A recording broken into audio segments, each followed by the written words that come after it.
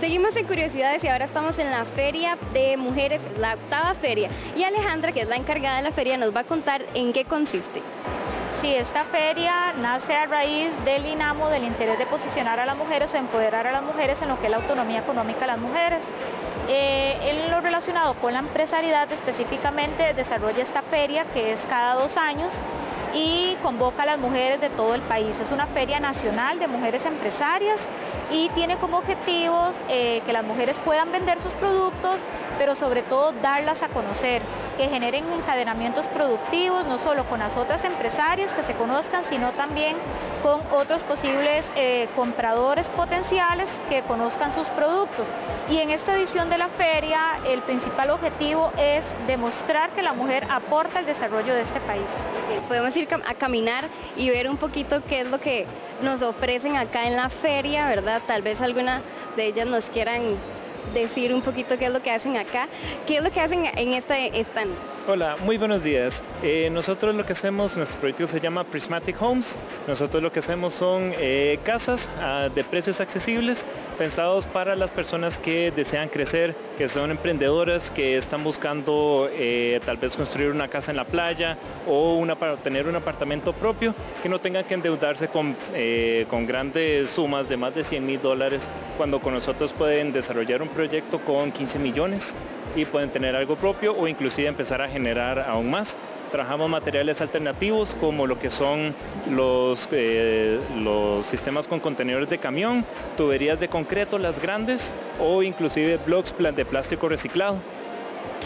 Bueno, muchísimas gracias. Seguimos acá en la feria, Alejandro. ¿Y cómo, cómo les ha ido durante esta feria de este año? Eh, en realidad hemos tenido un proceso que inició desde febrero con una comisión organizadora liderada por el INAMO, pero representada también por otras instituciones del gobierno, como también con alianzas eh, privadas. Eh, desde febrero se inició con este proceso, ha sido un proceso de inscripción, de preselección, de evaluación y selección, donde nos han acompañado no solo las instituciones de la comisión organizadora, sino también otras instituciones externas para que el proceso sea lo más transparente y objetivo y que hoy hayan quedado seleccionadas las 100 mejores de 350 que aplicaron para esta edición de la feria. Ah, buenísimo. Bueno, también tuvimos la oportunidad de ir por otros stands y conocer un poquito más de lo que están ofreciendo aquí, entonces ahora vamos a ir a ver esas.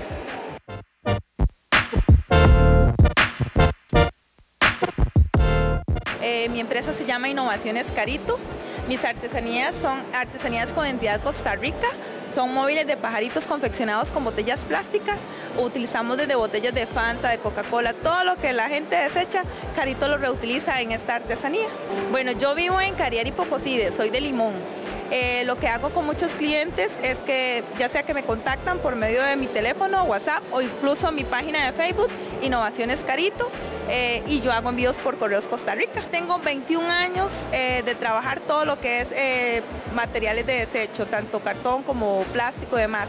Pero hace alrededor de 5 años en el proceso de artesanías con entidad Costa Rica del ICT, que es un programa que duró 8 meses, eh, consistía en diseñar un producto, una artesanía innovadora y yo me enfoqué, como ya sabía lo que era eh, trabajar la artesanía, me enfoqué en tratar de diseñar este, lo que fueron los pajaritos con, con las botellas plásticas. Obviamente ellos cuentan una historia. Cada uno de estos, el, el cuerpo del pajarito se asemeja a lo que es la hoja de la flor tropical la heliconia. Entonces, si le damos vuelta a un pajarito, las patitas de este pajarito vienen siendo la flor y esto viene siendo la hoja de la heliconia. Esa es parte de la reseña histórica de mi producto. Eh, surgió porque cerca de mi casa hay un sembradío donde exportaban ese tipo de flor y a mí siempre me encantó por, su diseño, por su color y quedaron los pajaritos que además llegan muchísimo todos los días a mi casa.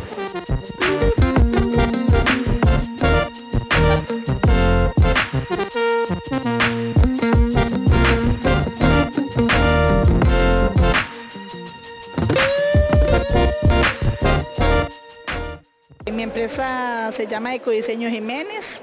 Eh, nació eh, porque mi hijo de 5 años empezó en, una capacitación con, la, con un grupo de, funcionarios de la policía que llegaban a dar unas capacitaciones y ahí aprendió él a hacer los animalitos, entonces este, yo fui aprendiendo con él y fui aprendiendo y ya aprendí y de ahí me empezaron a pedir la gente, entonces yo veí que era una como un medio de, de poderme ayudar.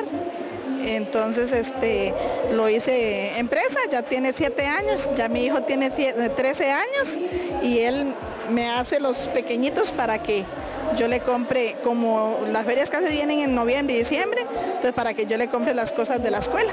Y entonces, eh, ¿qué son? Explíquenos qué son y cómo funcionan.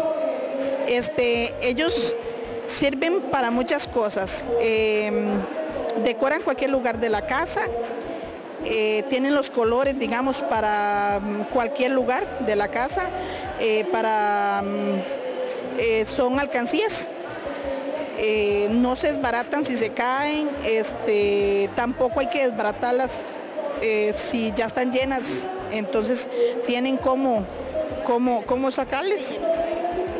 Ellos tienen acá, por acá se les echa la monedita y cuando ya está lleno se saca por acá.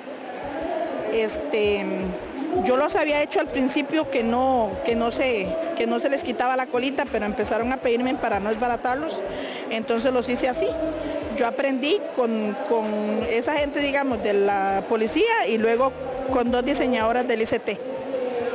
¿Y estos son hechos a mano? Son todos hechos a mano, tengo la guillotina así, pero para cortar las tiras. Lo demás, para hacerlo en pedacitos, este, todo es a mano. ¿Y de dónde consigue el cartón? Del Sensinay, de Cariari. Bueno, muchísimas gracias, muy artista. Gracias a usted.